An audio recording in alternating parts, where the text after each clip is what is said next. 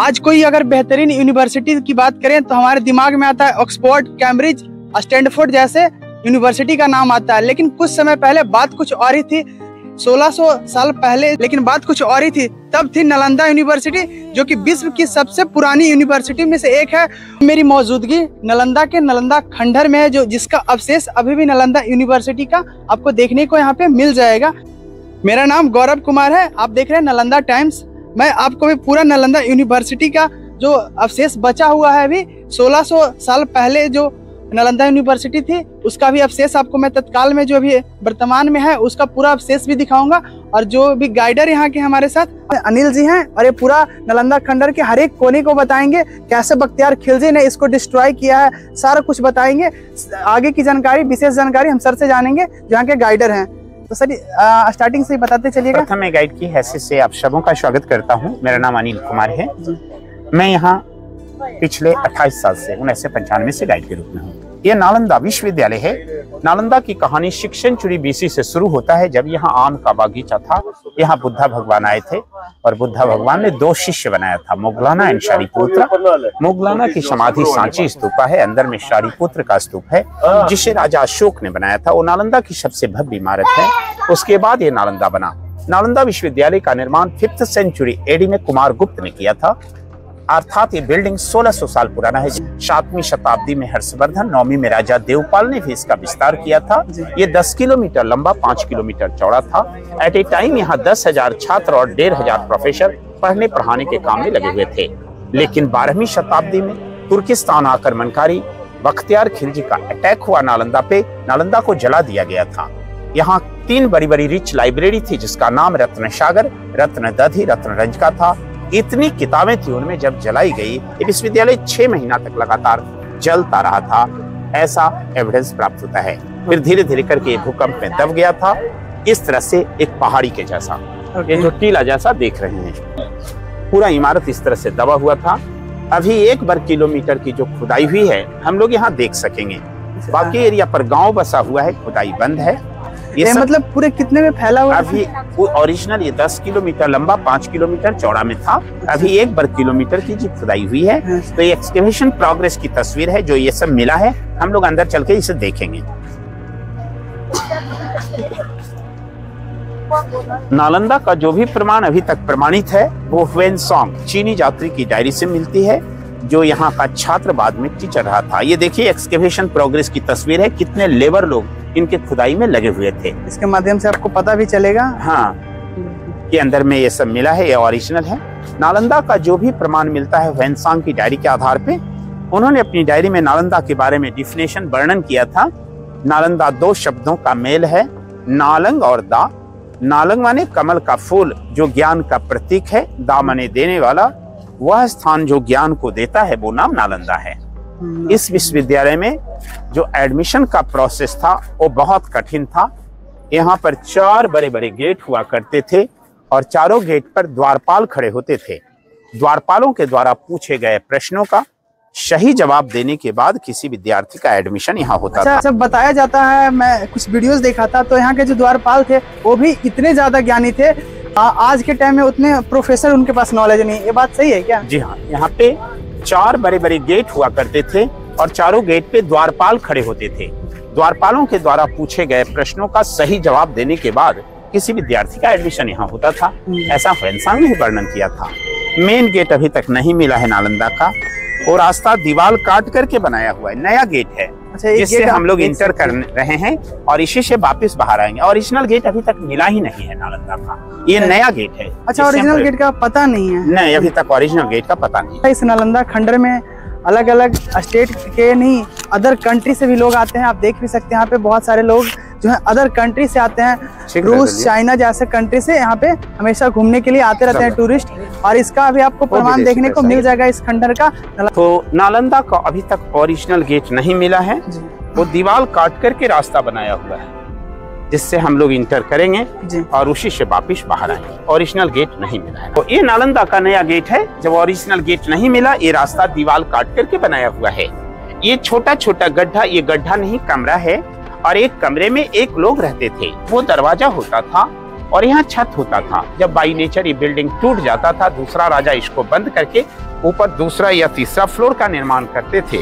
ये बहुमंजिली इमारत थी। ये बहुमंज पहला फ्लोर दूसरा फ्लोर इसके ऊपर का फ्लोर नष्ट हो गया है। 75 परसेंट जो बिल्डिंग है ओरिजिनल है 25 परसेंट बाद का है जिसमें सीमेंट लगा हुआ है। अच्छा ये अभी का बना हुआ है? जी ये अभी का है। मगर ये देखिए आपका ओरिजिनल कंस्ट्रक्शन है। अच्छा, ये जो जला था नालंदा यूनिवर्सिटी इसी का है? हाँ। बचा हुआ। जी जिसमें। लगता कि ईंट के ऊपर ईट चिपकाया हुआ है जबकि चूना सुर्खी माटी बेल का रस गुड़ और उड़द की दाल लगाई जाती थी। अच्छा, इसमें गुड़ का रस वगैरह।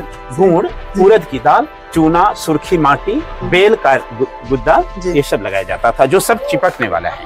ओके। तो देखिए ना नया है जो पुराना लग रहा है जो पुराना है वही नया नया लग रहा है। ओल्ड इज़ गोल्ड इसमें कितना कलर है कितना अच्छा लग रहा है वो आप देख सकते हैं। हर दो हॉस्टल आपस में इंटर कनेक्टेड थे एक से दूसरा जुड़ा हुआ था बीच में कॉरिडोर था मेन गेट नहीं मिला से रास्ता दीवार काट करके बनाया हुआ है। इन स्तूपा है। किताबों में अखबारों में जो तस्वीर आप देखते हैं वही तस्वीर छपी होती है। वो स्तूप है और वो चैत्य है। चैत्य माने बौद्ध मंदिर। लोहे का रेड एस्बेस्टस ये सब बाद में लगाया गया है इनको बचाने के लिए क्योंकि इसका रखरखाव भारत सरकार पुरातत्व विभाग कर रही है। ये सब चौकोर स्थान ध्यान करने का जगह जहाँ बैठ के साधना करते थे। अब देखिए हम मोनास्ट्रीज नंबर वन को देखने जा रहे हैं।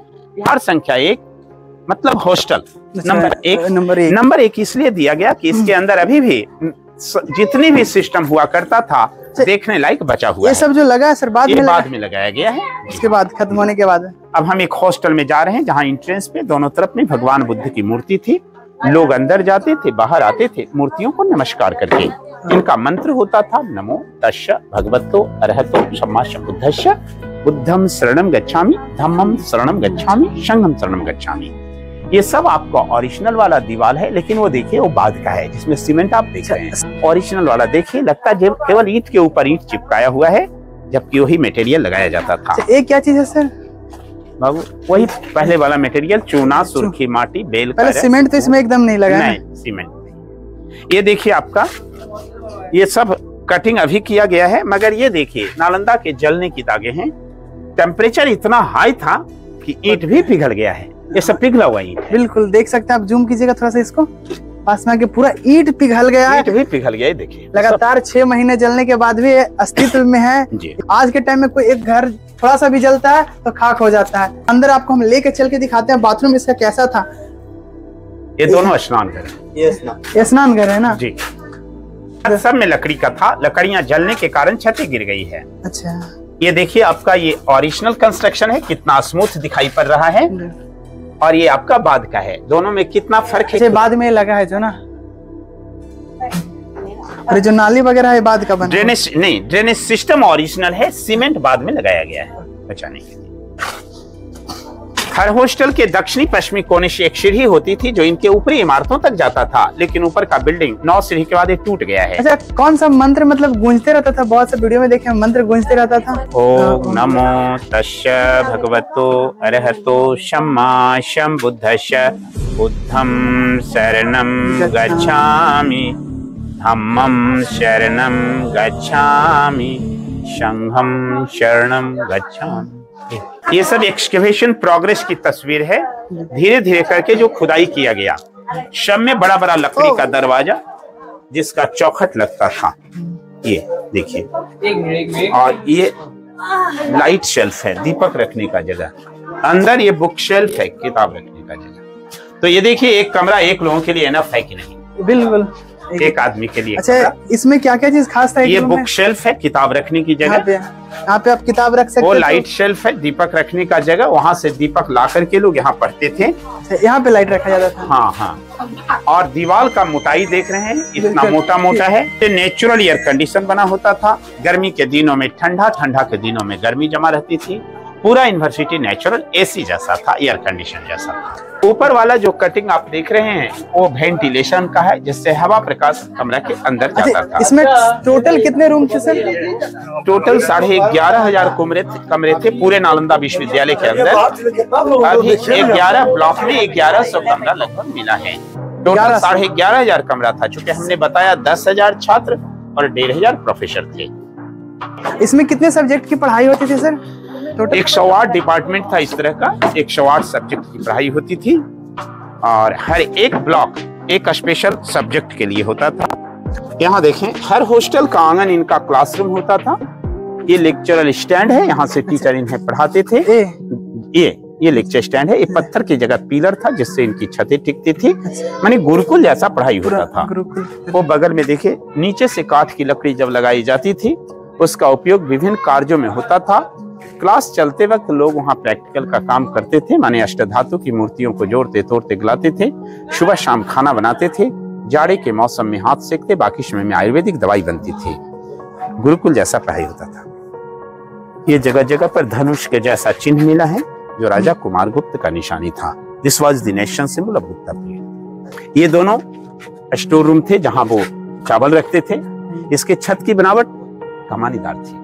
1600 साल पहले इसमें हाँ। क्या कुछ खास था? आपको हम चलिए दिखाते हैं अंदर स्टोर रूम में। ये देखिए ये कमानीदार छत है। आज से 1600 साल पहले कितना इंपॉर्टेंट आर्च आपके यहाँ था आप इसको देख सकते हैं। विदाउट सपोर्ट आज भी ये छत जस का तस टिका हुआ है। कुछ भी नहीं हुआ छह महीने लगातार जलने के बाद भी वैसा ही है।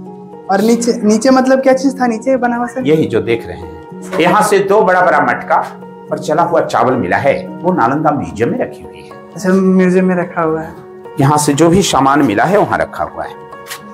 वो कुआँ था जल की सुविधा के लिए।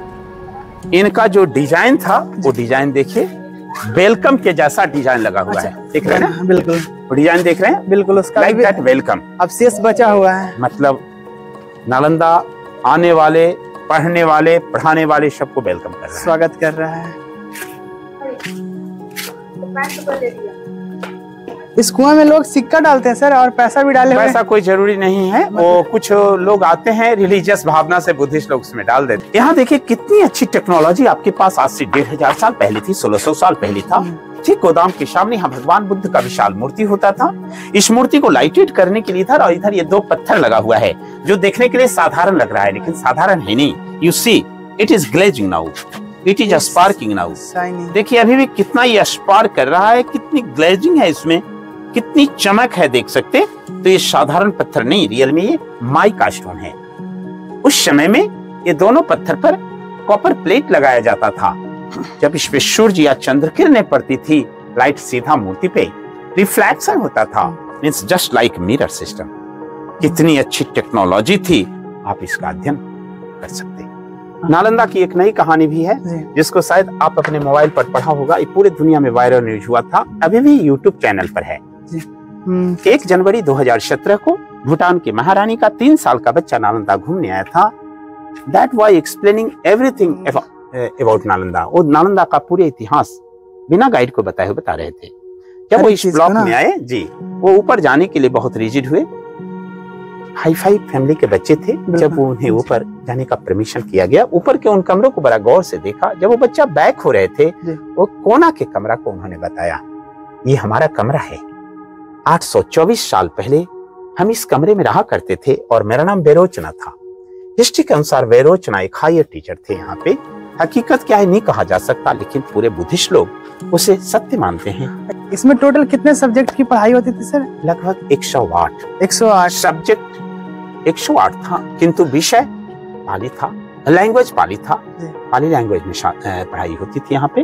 और art education medicine philosophy astronomy metaphysics theology माने धर्मशास्त्र दर्शन शास्त्र खगोल शास्त्र सारे विषयों और और कितने देश के लोग यहाँ पे आके पढ़ते थे sir?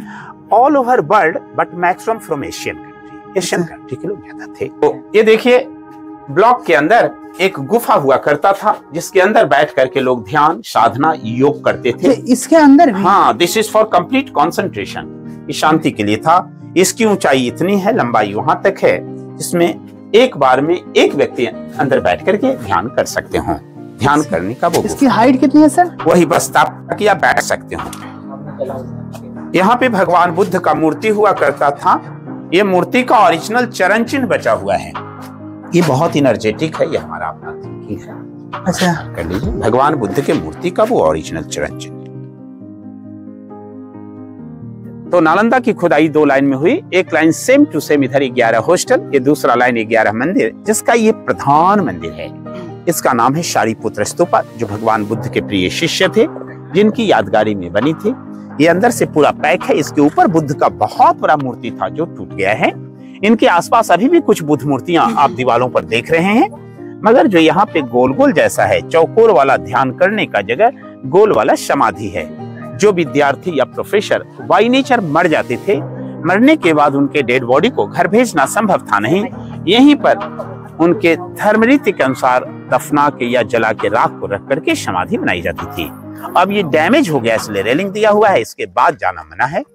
यहाँ के बाद बढ़ करके लोग फ़ोटो लेते हैं या ध्यान करते हैं। सब मंदिर इसी तरह का इधर ग्यारह मंदिर मिला है। बख्तियार खिलजी का जलाने का मेन मकसद क्या था सर नालंदा यूनिवर्सिटी की? देखिए ऐसी भी कहानी है कि उन्हें एक असाध्य बीमारी हो गई थी। वो दवा खाते खाते परेशान हो गए थे। उन्होंने ऐलान कर रखा था यदि बिना दवा खिलाए लोग हमें ठीक कर दें तो मैं उनको इनाम दूँगा। यहाँ के आयुर्वेदिक डॉक्टरों ने मैं उनको बिना दवा खिलाए ठीक किया। दवा कैसे, ऐसे खिलाया गया कि उनके पन्ने में, माने उनके धर्म ग्रंथ के पन्नों में दवा का लेप लगा दिया। जब वो तुक लगा लगा करके पन्ने को टर्न करते गए तो ऐसा भी कहा जाता है कि उनकी बीमारी ठीक हो गई दवा चुके अपने गया। तो उन्होंने फिर इसको इनाम के जगह पे सोचा कि जला देना चाहिए तो बहुत बुद्धिमान लोग हैं। ऐसी भी कहानी है, मगर ऐसा भी कहा जाता है कि सभ्यता संस्कृति को बर्बाद की गई। अच्छा यहाँ पे मेन ज्ञान देने के लिए कौन कौन आए थे सर बड़े बड़े जो स्कॉलर थे मैंने नाम बताया कुछ का नरोपा तिलोपा विरूपा मरपा गुरु पद्म संभवा शांति देवा शांति रक्षिता आर्य देवा पशु बंधु अशंगा ये सब नाम आता है। आप देख रहे हैं शहर का सबसे लोकप्रिय चैनल नालंदा टाइम्स।